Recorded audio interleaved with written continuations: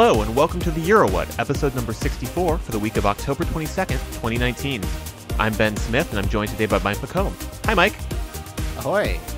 We are a pair of Americans trying to make sense of the Eurovision Song Contest, and this week we'll be talking about the big tie of 1969.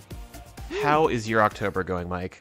Oh, goodness. So many things. Uh, yeah, just a lot of activity. None of it Eurovision related. It's all uh, all, all the craziness seems to have coalesced around this particular month. So uh, it's nice to have this as a little bit of a mental break, a mental escape. A nice little mental break where we can talk about the Eurovision Song Contest for like 45 minutes roughly. Oh, yeah, something like that. So- somewhere And in there. How is your month going? Uh, it's good. It's it's busy over here too for also non-Eurovision related reasons. It's nice to have this little island of calm or this island Yes. of just very silly procedural things. Yes, the sillier the procedures, the better. So Yes. Which uh, spoiler alert, we get to talk about procedure this episode, which is a big Oh, fun goodness. thing for both of us. Yeah, possibly the silliest of uh, procedural nonsense. So Yeah. Just a big oopsie in when they planned out how the contest worked. Before we get to that, though, let's check in on how many countries have currently signed up since we are nearing slash have passed the date that they're supposed to officially confirm. There are still a few that are holding out Armenia, Bulgaria, Hungary, Moldova. And like Bulgaria told us end of September, and like it's September 51st. Like we'll get there eventually. yeah, give them time. I just feel like so many of those are always there, and it's just a matter of them like officially figuring out how they're picking their entrance so they can make a big announcement and be like, "Yes, we Mhm. signed the paperwork." it's one thing to just say like, "Oh, we're going to be there." It's just like, "Oh, you need a little bit more in your press yeah, release." yeah, you and want to have things a little bit more planned out. They're also going to do a lot of junior Eurovision stuff. So Oh yeah, true. You got to wrangle the kids. So since we last spoke about who's participating, a lot of decisions have been made. Everybody's figuring their their stuff out. Uh, Italy will be there. yay! Yeah, they, they I don't think they've necessarily confirmed one one way or the other whether Sanremo will actually be the selection method, but it probably will be. Mhm. Sanremo is still going to happen. Oh yeah, Uh, yeah, and it's been working for them. So uh, yeah, I, I don't know why they would change that. So. no, absolutely not. Uh, Lat- Speaking of things that are definitely working and definitely should not be changed, Latvia is doing Supernova again. I, I although I love Supernova and like what the what that selection process is, I am very surprised that they are using that as their selection process, Mhm. given how it has not actually worked the last three years. hmm Who knows? Like Aminata could have written like 18 songs in that time, and Oh. like they're and they're all ready to go. Uh, if that is the case, then I take back everything I just said. I figured that would sway you too. Yes, Supernova is a good thing again, but we'll Yeah. see. It's it's Yeah. October. We're fine. Honestly, I would have guessed that they would have just said, like, all right, Markus Riva, we know you're going to be at Supernova anyway. Why don't we just send you and then just get that off of our checklist and move on? But Yeah, let's just plan on the schedule a song for Markus, and we're done. Malta had, it was like X Factor's working great, which I would agree. So X Factor will be used to choose the artist again. That's currently underway. yeah, uh, I believe this past weekend was the second week of auditions. It's geo blocked here, so I've not been Mhm. keeping very close tabs on it. Also, with Masked Singer happening here, I only have so much mental space for m- my singing competitions. Yes, So- yeah, and, and like that's like right now that's the right choice. Yes. They're all so good on the show this season, or at least they've weeded out the ones that are less good so far. Sorry, Paul Shaffer. Uh, Sorry, Paul Shaffer, but also come on, Yeah. come on. And then also in terms of singing competitions, Georgia Idol will be starting up this Saturday. They are doing the same process they used last year. They're just starting the process a little bit earlier. I think last year they started in January and finished in March. And I don't know if they're expanding the season at all or anything like that. Ukraine has announced that they will not allow contestants with a performance history in Russia to participate in Vidbir next year, which, given all of the fun that we saw this year around that, I, I get it. Yeah, I. Yeah. Yeah.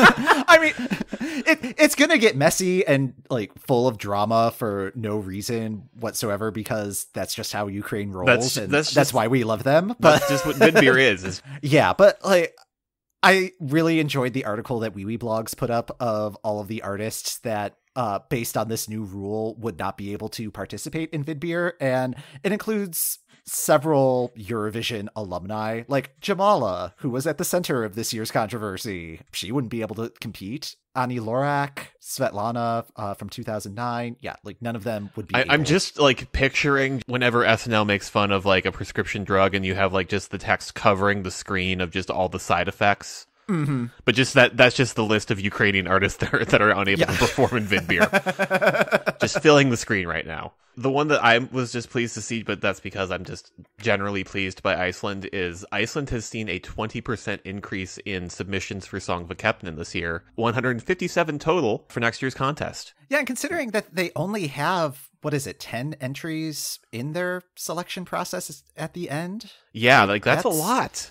Yeah, That's that's, a- a, competitive field. That's a lot. Uh, 157 is more artists than are performing at Iceland Airwaves in a few weeks. Huh. Although Iceland Airwaves has a lot of artists that are not Icelandic. That's a lot of songs. I wonder how many of the artists that are going to be performing there that are eligible to compete in Söngvakeppnin, what that Venn diagram is going to look like. Yeah, what So- what is that Venn diagram?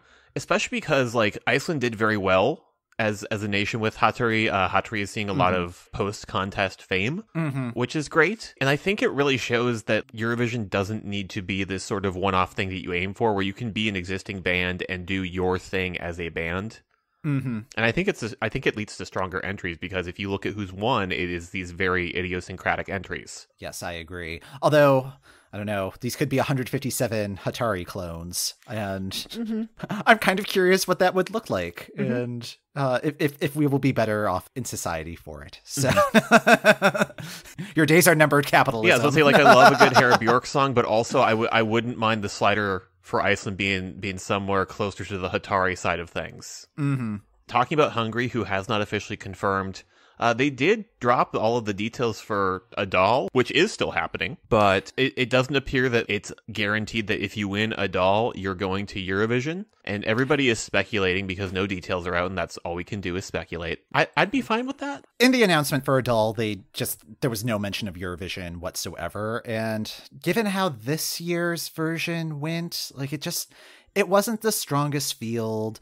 There was the plagiarism scandal that caused a song to get disqualified, which really messed up a whole bunch of results. And I'm hoping that this means that Hungary is just considering either an internal selection or like if you're an A Dal finalist, then you'll be up for consideration and it's just not like a guarantee if you win. But mm-hmm. yeah, and, and they could also just be finalizing some details. Yeah, I'm not sure where they are in the contestant selection process. So it, there could just be some contractual conflicts that are preventing some potential contestants from being able to compete at mm-hmm. Eurovision, but they still want them on A Dal. So Yeah, like well, yeah, like the big one that everybody was making a big deal out of was I think that the the range that the song could, had to have been like new from was outside the standard Eurovision range. There was like, oh no, they're dropping out, and like guys, no, they're probably just trying to widen the pool a little bit and find find a good artist, and if they need, to, and if one wins where the song doesn't work, picking a song that works. Right. And and it could also be a case of they're trying to find an artist rather than the whole package. hmm My hope is just that Hungary is participating and not taking a like, oh, we didn't qualify. We're, we're just gonna go sit in the corner for a couple of years because Yeah. that's no fun. That's Like, no fun. Hungary's always a welcome presence. That is it on country news. All right. Well, uh, looking at the EBU website, they posted over the weekend the job description for the executive supervisor role, the the Jon Ola Sand role, and yeah, it was kind of fun to go through and see what the actual responsibilities are for the next Jon Ola Sand. There were a couple of bullet points that I just wanted to pull out uh, that I thought were kind of delightful Yes. in the general description at the top, as the ESC is an apolitical event but with a potential political impact, overall and political stakeholder management is a key role for the executive supervisor. I'm I'm going to take a quick look here, just looking down the the uh, the first letter in the headings to see if it spells out drink. Yeah. BYOB, you know. Uh, uh, let's see what else. He or she is responsible for ensuring that all the post broadcasters and the public broadcasters are not at any time in breach of the ESC rules and can, after consultation with the reference group chairman and in accordance with the ESC rules, decide to ban, change, or modify any entry at any time before the execution of the shows. So help me, I will turn this car around. Yeah, it's just like wow, that I I don't think he's ever really had to like swing that axe, but yeah, it's interesting that he's he has that power. And then, uh, similarly, the executive supervisor of the ESC will also supervise uh, junior Eurovision, delegated to a project manager. So even even Jon Ola Sand is like, it's like, eh, nope, nope, that's someone else's problem. and the coolest part of the job description, uh, they have different subject matter expert categories, and uh, this role is qualified as a top expert and is recognized as the absolute guru in his or her field. I think that's kind of neat. He is officially yeah, like I a would, I would love to have this, a job so- position that's top expert. Yeah, yeah, and- yeah, unfortunately, I am ineligible to to apply. I do not have a master's degree and I do not have an MBA, so I'm Mm. right out. Plus, my my French is not proficient. Yeah, my my my French is uh no bueno as well. And uh And Oh. yeah, and and I have no direct broadcasting experience uh, outside of this podcast, so I don't know. There's only so much so much you can fake it. So. Mike, Mike, Mike. I did radio Yeah. in college, so that we were covered there. Uh, Okay, you have the master's degree. right. I, I'm happy to be called top expert, and we can probably just rope in Duolingo for the French part. All right. So we just need to find a big enough trench coat so that we can like be stacked on top of each other's shoulders. There we go. So And honestly, it's just acid because the, the two of us on one another's shoulders is just is really going to tower over anybody in the room. Exactly. Yeah. Yeah. Uh, and well, no, I was gonna say like if they were based in the Netherlands, I'm sure there's enough like ceiling clearance for that sort of height, but uh, don't think that's the case in Geneva, unfortunately. No, so, no. but if you think you are qualified for this role, uh, we we will have a link to the uh, PDF for it in our show notes. So good luck if you apply. Okay, so I had an interesting uh, Twitter thing that happened on Mhm. our Twitter this week.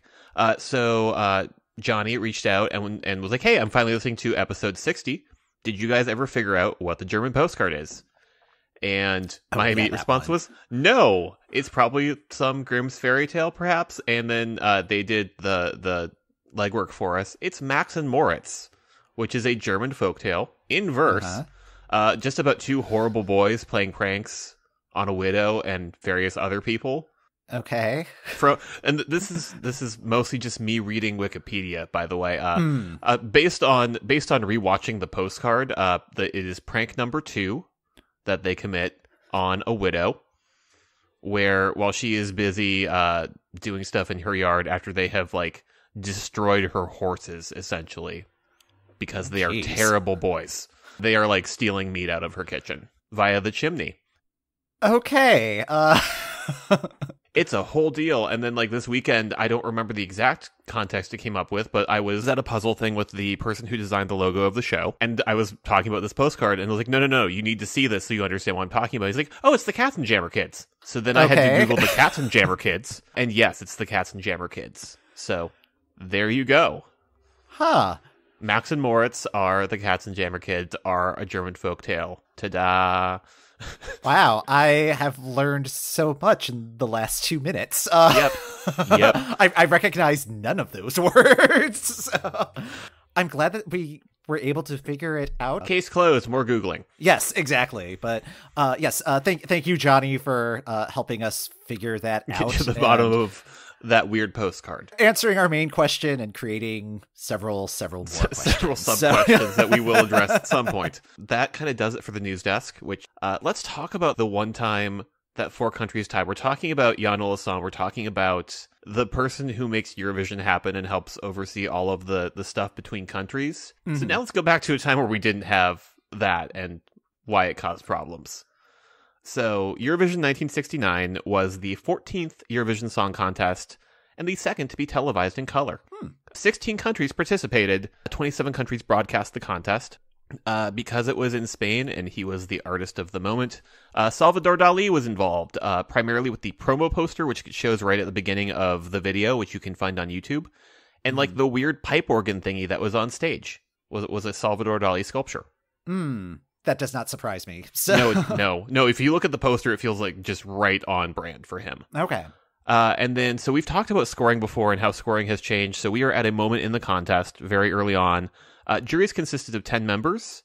Each of them gives the song that they liked best a point, which meant that there were 160 points up for grabs. This became a problem because Spain, the United Kingdom, the Netherlands, and France all ended up with 18 points each. And there were no tiebreaker rules in place. So, and like we now have a situation where it's not just two countries that are tied, it is four countries that are tied. In lieu of any sort of tiebreaker structure, all four of the nations were declared winners. How do you not have a tiebreaker system in place when it's just a sing what wow. That that is baffling to me. Yeah. Nobody sat down at like year five and was like, okay, so what happens if two nations win? How do we figure that out? Especially when it's just basically the Democratic primary, where it's just like, oh well, yeah, we're just choosing between eighteen. Oh goodness. Yeah, we're choosing between 18 things. Although, one thing that occurs to me and that we have talked about recently is that back in the early days of the contest, they were essentially starting from scratch every year. True. It was just, well, you won, so you can host. And then every nation was not passing a binder from nation to nation with, this is how we do things. Mm-hmm. So it, it totally makes sense to me that everybody was just like, well, you know what, we'll, we'll, we'll figure that out later. This is for like next year's winner to figure out. And by the time that you get to four nations tying, the first time that a tie happens, nothing has been set in stone. Wow. All four nations are now joint winners. All of the singers received medals, and typically uh, medals would go to both singers and songwriters. But again, we suddenly have four winners, so there are no medals for the songwriters to to get. Oh jeez. We have not planned for this situation at all. Even watching the video, like the the woman hosting the contest, she was just like, "Wait, are you sure it's a tie?" Like like she had to ask several times to Yeah. make sure that like the Someone please check the final. numbers. Yeah, Oh goodness. yeah. The and like the full show would have been ninety minutes, but because of because we do have rules at the contest that the winner performs at the end. We don't have rules that the, for, for what to do if there's a tie, but we have rules for the person who won plays their song again. Yeah. uh, all four winners have to perform. No one Oh, seems goodness. thrilled by this because they're not the they're not the sole winner. yeah. And then in the aftermath of that, Mm-hmm. in 1970, there's like a bunch of protesting. Like Portugal, Norway, Finland, and Sweden all sit out because they're mad. Oh jeez. So you have only 12 nations performing at the contest in 1970. Uh, the EBU's like, oh man, we should take a look at this whole Eurovision thing and try to figure out what to do. They make no changes to how points are given out, despite the fact that that caused this situation. Oh man. Uh, but they but they did put in tiebreaker rules. so how did the tiebreaker rules work? Let's see. So I was digging around looking for like the the 1970 tiebreaker rules and could not find them. So I I can only apply the 1991 rules. Mm, Well, okay. the 1991 rules and then the more recent rules. And the 1991 rules may actually be the rules that from like 1970 until the 90s. Mm. So, according to 1991 Eurovision rules, the country receiving the highest score from any other country would win. In this case, looking at the the four way tie, the Netherlands would have won because they got six points from France. Okay. Uh, the UK would have come second with five points from Sweden. Mm. Under current tiebreaker rules in the contest, we have a completely different result. Uh, which is Oh. great because if, if you really stand one of these four songs, you can probably figure out the math that will get in your favor. Uh, so, according to current tiebreaker rules, the song receiving votes from the most countries would win, then the song receiving the most high value votes in case of another tie. Okay. So, and that comes into play here because France would have won with Spain in second. Both of them received points from nine countries. France received t- four points from two countries, and then Spain received three points as their highest vote. Ah. So, so that's how it all shakes out. And again, you can basically figure out tiebreaker rules that will let any of the countries you like best win. Awesome. Yeah. Yeah. so doesn't really solve the problem. Oh, it, it does. It most certainly does Yeah. not. Oh goodness. in the spirit of trying to sort these things out, I was like, what if we put these four songs head to head because there's four of them? We could have done a bracket, but then earlier over the weekend, I was like, no, let's not. Let's not do that. Let's just put them head to head to head to head. Okay. Since the Netherlands hosted in 1970, and since they're going to be hosting in 2020, Let's talk about the Netherlands first. Their entry was De Troubadour by Lenny Kuhr.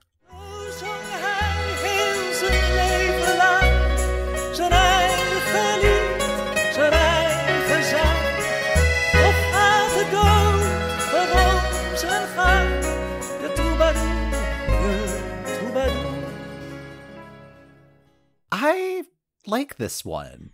I do too. Like, I think if I had to pick one of the four of these, this is the one I would pick because it's it's interesting. Yeah, I mean, like I really like her voice, and she has a really strong stage presence. Mm-hmm. Learning Dutch in preparation for next year, it's just kind of a harsh delivery system for really any song.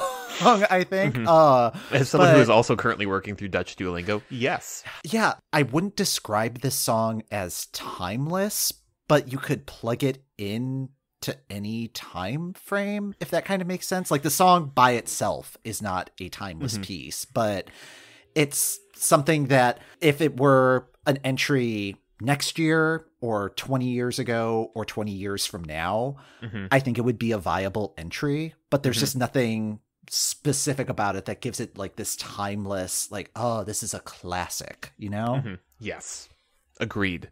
where we're yeah, again, like it's not classic, but it also could totally come unstuck in time, and I wouldn't notice. Right, exactly. Okay, any other thoughts on this one? Looking up like factoids about the different uh, entries, uh, since this, this this is a contest just full of little bits of trivia. It is. uh, There are so many good bits. Yeah, uh, for this one, it's the first winning song to be written by a woman, which seems kind of shocking given that this is the 14th contest. She's also the first woman to win while playing an instrument on stage. And I love it when, I don't know, the superlatives start just getting very Just has like specific like three that. asterisks and one of those little cross icons for to to tell you to go to that note in the footnotes of right, first yeah. woman to just- win while playing an instrument on stage. Yeah, and then it's just like uh, the next iteration of that. It's like, oh, first woman to win while playing uh, an instrument on stage while wearing a ring on her left pinky. You know, it's, Yeah. it, it just gets more and more ridiculous. But it's like, ah, but I'm the first. So Spain sent Salome and her song Vivo Cantando.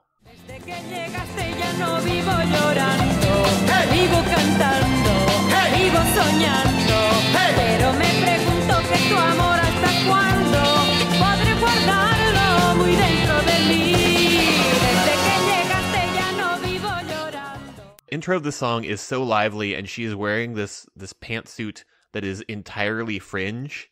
mm-hmm. and that, just, there's this beautiful movement as she's like just completely into the intro yeah, yeah. and then the song starts and it like immediately stops all of that momentum And it's weird because I listened to this on Spotify before watching the video, and the two versions of the song are pretty different. Like the the studio track starts out it from like a very like Shirley Bassey uh Mhm. Place. And then it gets into like the fun party vibe, whereas I thought the stage performance was kind of in the party vibe for most of the performance. Like one of my notes, Joanne Worley, like she just reminds me of, that, which I guess would be making it the most contemporary of the time because that is like the Laugh-In era. hmm there's such an energy to the first part of this to the intro of the song and then it immediately slows down and it takes forever to get back up to that energy and that that killed Mhm. it for me It's also one that has kind of Act Three problems where it's just like it just keeps building and building. It's like where is this going? What what what is your exit strategy?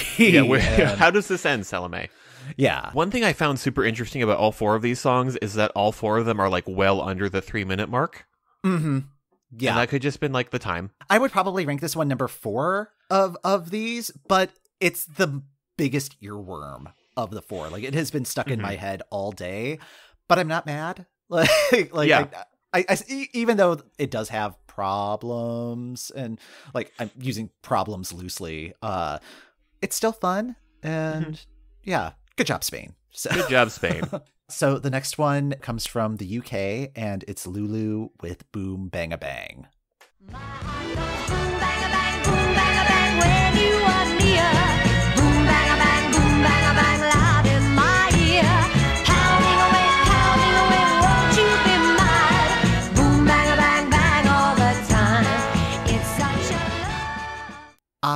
Was shocked by all the Lulu trivia that This, I learned yeah, like in if, if we're prepping for this for, episode. ways to rank the songs, this one wins in like fun factoids oh my goodness. because I I love putting music in context. And Lulu at this point already has like a U.S. number one hit with "To Sir with Love," like that happened in '67. hmm So she is a well known quantity as as a performer, and like the UK did did a selection uh, a song for Europe where people got to vote by postcard. So I really want to know how that worked. Mhm. Uh, anyways, the entry that came in sixth of six entries was written by like some then unknown songwriting duo. It was like a song called "I Can't Go On Living Without You." Uh, so again, six out of six doesn't do well, doesn't get selected. The the people who wrote the song, Elton John and Bernie Taupin. Heard of them? You know, wow, that is so random. yes, I'm familiar with like To Sir with Love. I had no idea just how successful that song was in the US. Like it was the biggest selling single of the year it came out. Like it was huge. And mm-hmm. even if I knew those particular facts and you told me to put them in chronological order, I would have put that after Eurovision. Like I would have said like, oh yeah, she went to Eurovision first, got name recognition, and then built her career from there. It's like, oh no, this is like the 1969 equivalent of sending, well, maybe not sending Adele to Eurovision, but kind of of that mindset. this one feels kind of like a step down from "To Sir with Love."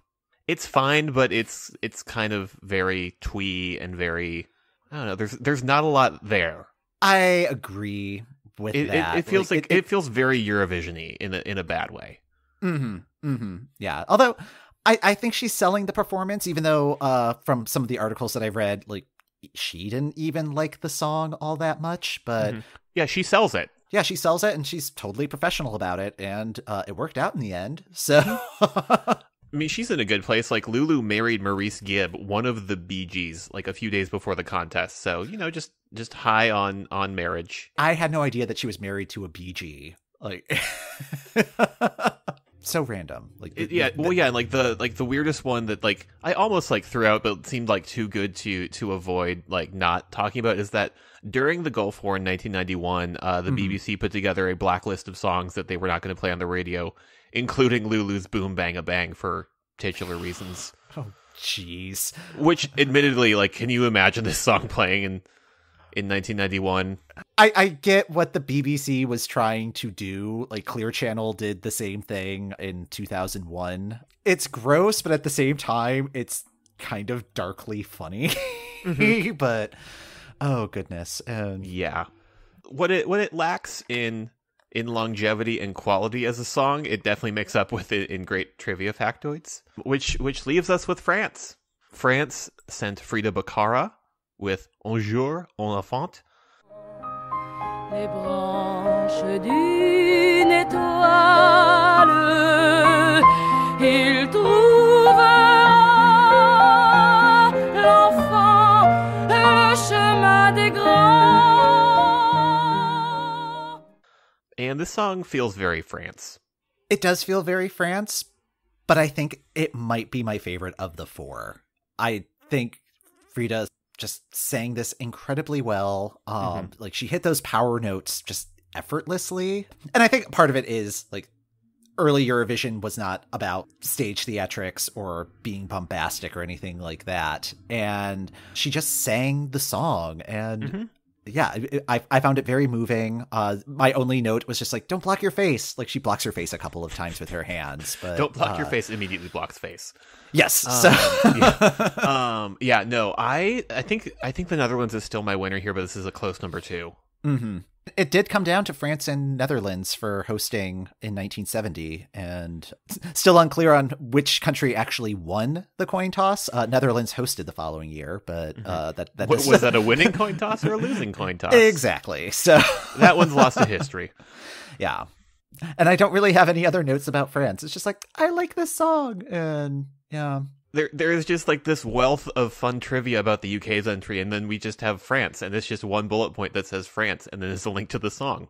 maybe that is part of the point where it's just like there's all the conversation surrounding the UK. And I, I think the UK was one of the favorites going into the contest, but mm-hmm. then you just have like the understatedness of France. And it's just like, yep, just go in there to sing your song. Kind, kind of what happened with Portugal in 2017, where it's just like, oh, mm-hmm. yeah, it's just perform the song and it's great. And I think what's really interesting about all of this is this is the same year as Woodstock. And that just kind of boggles my mind because these songs do not sound contemporary with any of that sound. Mhm. But I don't know if it was just the Eurovision being a couple years behind the times or what was going on. But it's just like, okay, you have these four songs that are, I would say they're fairly similar just in overall style, but Well, thinking about thinking about this in context of Woodstock, which I had not done, and which is great. Like, I kind of see like weird strains of what's going on in that particular sector of music in the entry from the Netherlands. Kind of, it feels very folky. Hmm. It feels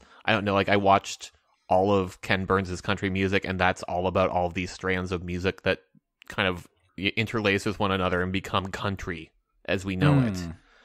And like this definitely feels like in that same late 60s early 70s space of of folk music and guitar music coming to the forefront That makes sense. And it also it also seemed like there was an effort to try to add some like Spanish flair to all of the entries. Like the Netherlands entry was definitely you could definitely get a flamenco yes influence in there.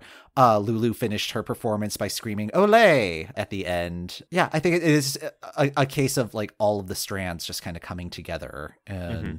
I, i'm still boggled that like nobody had sat down and gone what do we do if we tie I know, like what that if we do if there's a tie not just that it was a tie, but a four-way tie. Yeah, like how how do you not have a backup plan? Like I, I can understand why the Scandinavian countries were rather Yeah, we're- cross we're, about like not outcome. pleased and like we're like yeah we're not going to come back in 1970 for the first time that a tie happened for it to be this much of a tie is just kind of Mhm. amazing yeah.